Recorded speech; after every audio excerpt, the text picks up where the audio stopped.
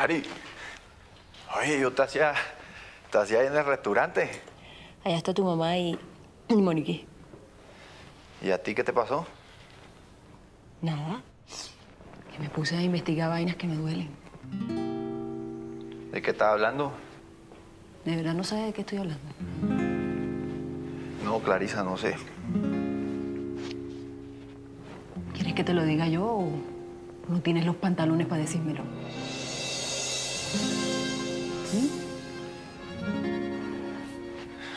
Mierda, Clary, mira. No es lo que Mira, tú estás Carlos, pensando. Mira, Ah, yo sé de dónde viene. ¿Mm? Te vi, te vi cuando entraste al hotel.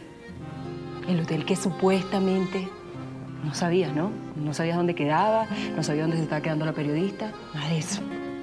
Porque eso fue lo que me dijiste a mí. Eso fue lo que me dijiste.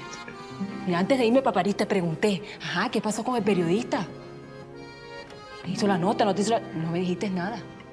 ¿Mm? Nunca me dijiste que era una mujer.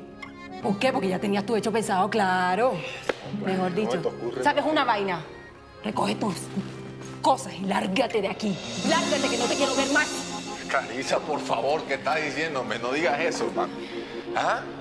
¿Qué prefieres? ah? ¿Que coja mis pelados y, y me largue yo?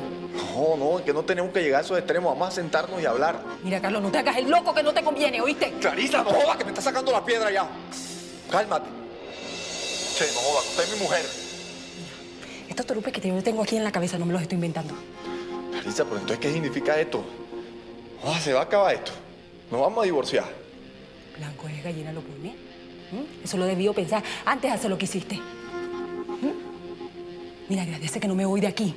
Porque tengo la responsabilidad del restaurante ese. Porque si no, yo cojo mis pelados y me largo de esta vaina. Coge tus vainas y vete.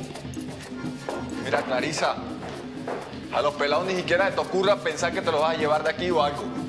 Porque ellos también son mi responsabilidad, yo. Mira, ¿sabes qué? Yo no quiero nada tuyo. No quiero nada tuyo. Y lárgate ya que no te quiero ver. ¿No lo has entendido, qué?